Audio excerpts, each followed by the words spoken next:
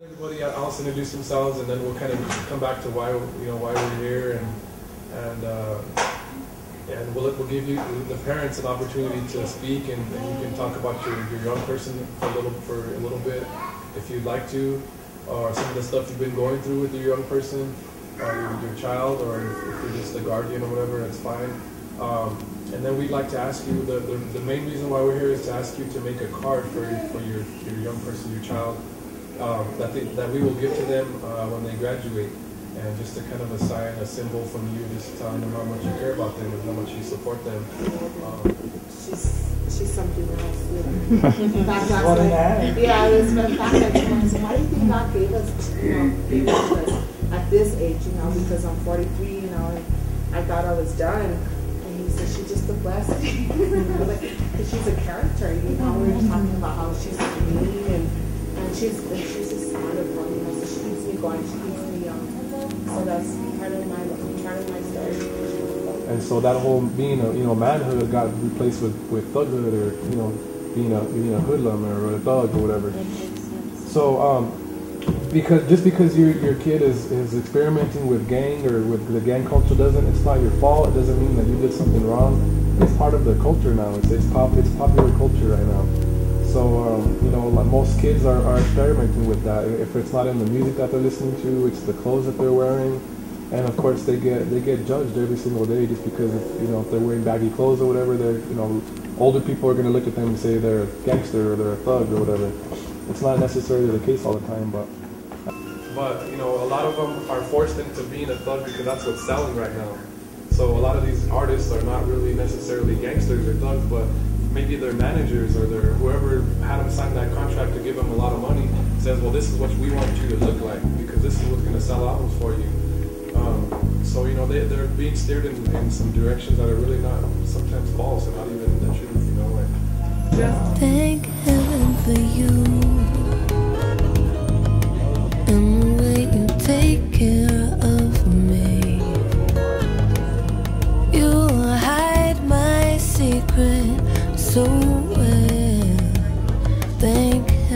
for you.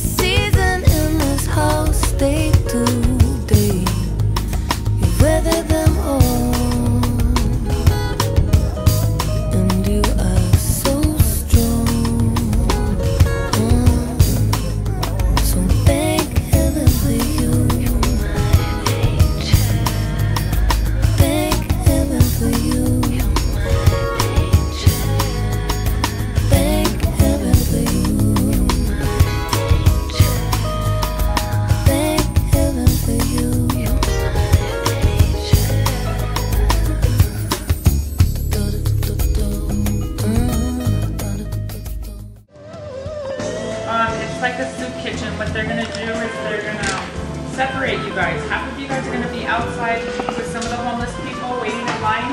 You guys will be playing games with them, you know, cards or chess, whatever you want to do. And then half of you guys will be inside the kitchen. You'll be setting up. What that means is you'll be putting out Kool-Aid on the tables. You're gonna be putting um,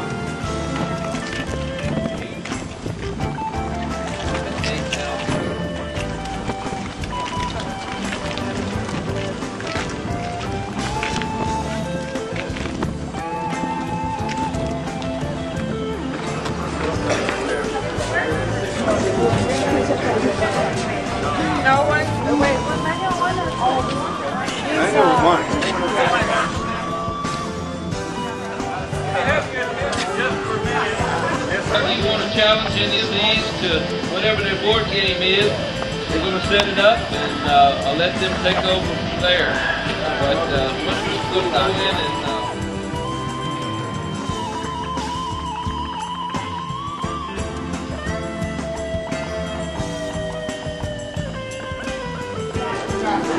Which one of these kids wants to play some Jenga? This gentleman can't play very well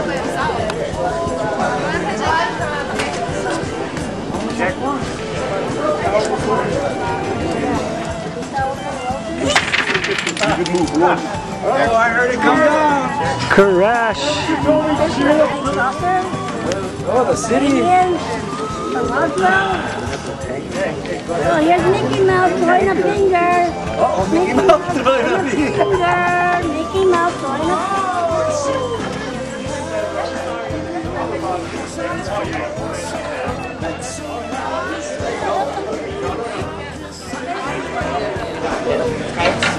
Um, you're dealing with a homeless population.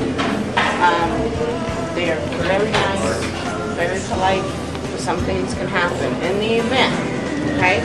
Anybody says or does anything to you, do not, do not, do not start an argument with them, okay? Just say, okay, and come and get me, okay? I will deal. Thank you. First of all, I want you to give a big round of applause for our volunteers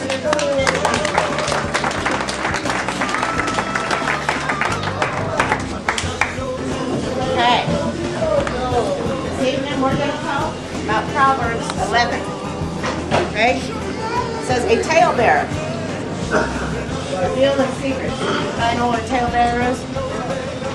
Somebody whose tale is lies. Okay? How many people know somebody like that?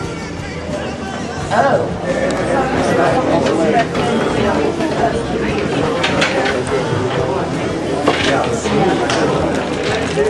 我想从来没有这样子的爸爸妈妈